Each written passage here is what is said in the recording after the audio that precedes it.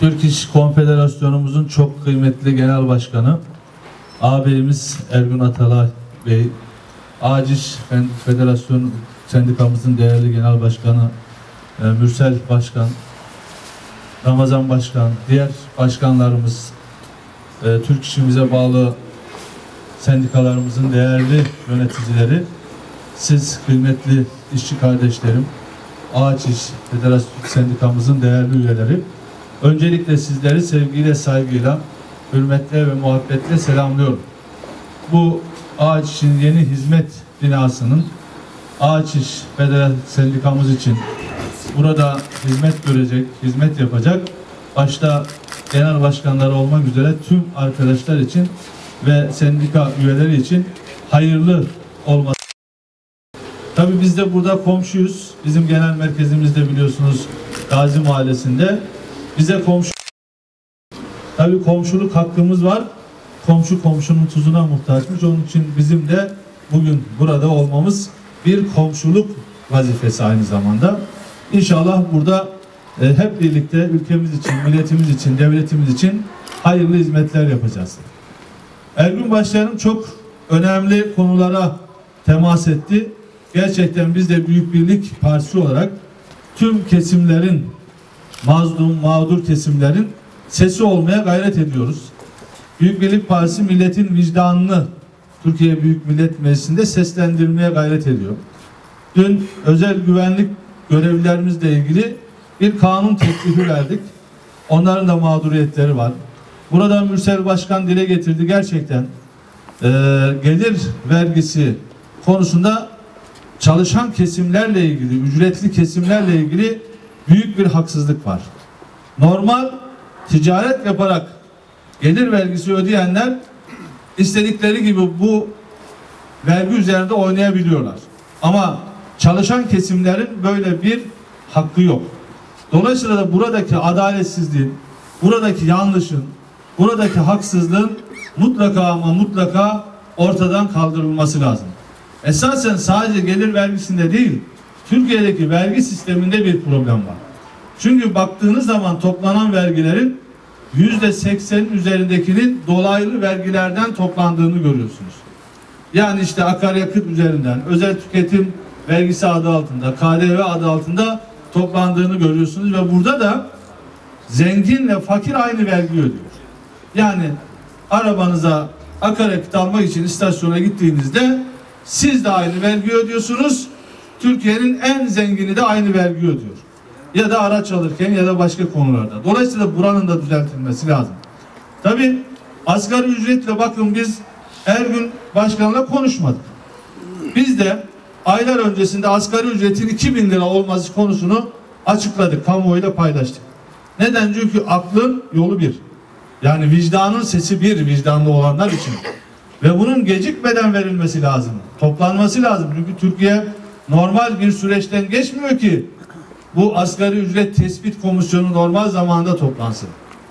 Türkiye anormal bir ekonomik süreç içerisinden geçti ve bu sürecin şu anda evet tehdit, tehlike tamamen geçmiş değil ama en azından durdurulması noktasında hepimiz el birliği, iş birliği ve güç birliği yaptık. E burada da işçi kardeşlerimiz, çalışan kardeşlerimiz de buna öncülük ettiler. E dolayısıyla da onların mağdur edilmemeleri lazım ve eğer onların normal hayatlarını devam ettirmek için ihtiyacı olan temel ihtiyaç maddelerine, temel gıda maddelerine, temel tüketim maddelerine yüzde ellilerin üzerinde zam gelmişse o zaman ücretlinin de hakkını vermek lazım. Buna uygun olarak vermek lazım. Çünkü alın teri kurumadan verdiniz diyor Peygamber Efendimiz. Yani şu anda işçilerin, çalışan kesimlerin mağdur olduğu bir muhakkak. Onun için bir an önce toplanması ve burada asgari ücretin en az 2000 TL olarak belirlenmesini biz Büyük Birlik Partisi olarak teklif ediyoruz. Tiplerde çalışanların taşeron olanların kadroya alınmaması biz taşeron yasası çıktığında da çok büyük uğraş verdik. Bunun düzeltileceği noktasında pek çok sözler söylendi, laflar edildi ama bugüne kadar henüz neticelenmiş değil. Bunun mutlaka ama mutlaka beha mehal neticelenmesi lazım. Çünkü kitlerde çalışan kardeşlerimiz de diğer işçilerimiz gibi bu kadroyu çoktan analarının ak sütü gibi hak etmiş vaziyetteler. Biz yine Büyük Birlik Partisi olarak bu hususun da takipçisi olmaya devam edeceğiz.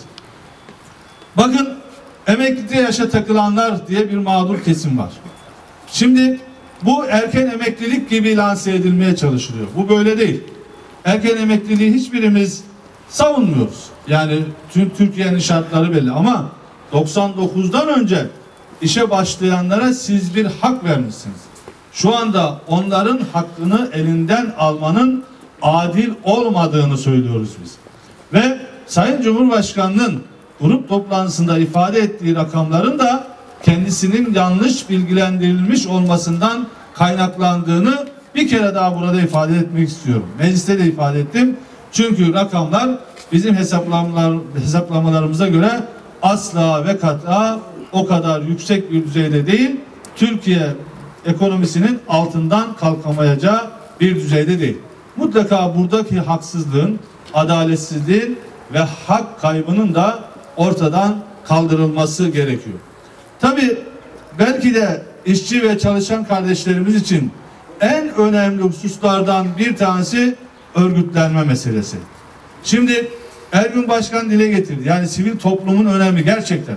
Yani Türkiye'de eğer biz birliğimizi, beraberliğimizi, kardeşliğimizi kavileştireceksek, güçlü bir Türkiye'den bahsediyorsak o zaman sivil toplumlar örgütlenmenin önündeki engellerin kaldırılması ya da teşvik edilmesi mutlaka ama mutlaka şarttır.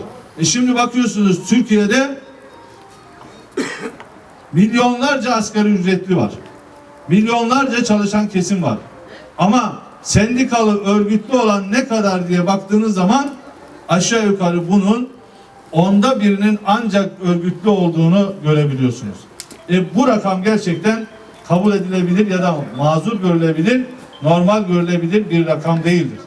Devlette çalışanlar nasıl örgütlenmeye mecbursa, sendikalı olmaya mecbursa diğer kesimlerde özelde çalışanların da mutlaka ama mutlaka bir keyfiliğe yer bırakmadan orada da çalışan kardeşlerimizin örgütlenmesinin önündeki engeller kaldırılmalı ya da bunu teşvik edici yasal düzenlemeler yapılmalıdır. Yani asla ve kat'a çalışan kesimler patronun insafına, vicdanına terk edilmemelidir. Devlet bununla ilgili her türlü tedbiri almakla yükümlüdür. Çünkü devlet vatandaşını korumak, muhafaza etmek ve hakkını elde etmesi için yardımcı olmakla görevlidir.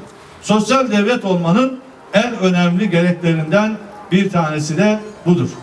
Ben Büyük Birlik Partisi'nin genel başkanı ve Ankara milletvekili olarak bugüne kadar nasıl biz işçi kardeşlerimizin toplumumuzda mağdur olan tüm kesimlerin sesi olmuşsak bundan sonra da yine sizlerin sesi olacağız ve bu konuda hem kamuoyunda hem Türkiye Büyük Millet Meclisimizde üzerimize düşen bütün vazifeyi, bütün yükümlülükleri yerine getireceğiz. Tabii ki sizlerin desteğiyle olacak bunlar. Ben bu duygu ve